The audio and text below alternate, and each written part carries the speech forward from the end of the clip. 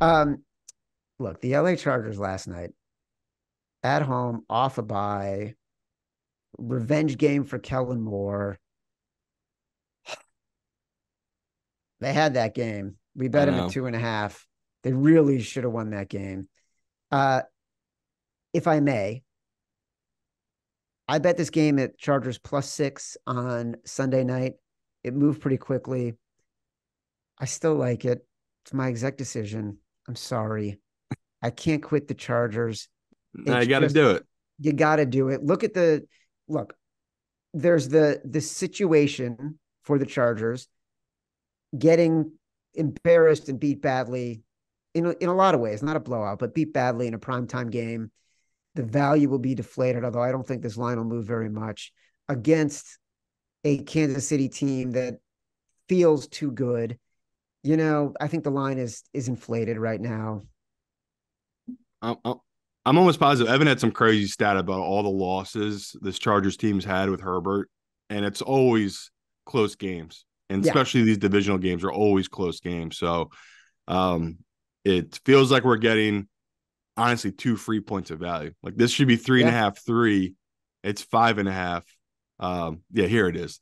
19 of the Chargers' last 24 games have been decided by seven points or less, dating back to week 18 of uh 2021. So, you know, Chargers' last eight losses were by three, three, two, one, three, seven, three, and six. Like this is just a team that I get it. If you're like just like last week, if you're scared off by the low number, tease them up again.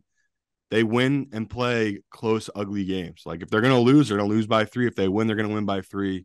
The Chargers just they have horrible coaching, and it's just the way it is. Like whenever they should make the right decision, even yesterday, like your your defense is playing incredible. If you kick a field goal, the game was tied. It would have been tied 10-10.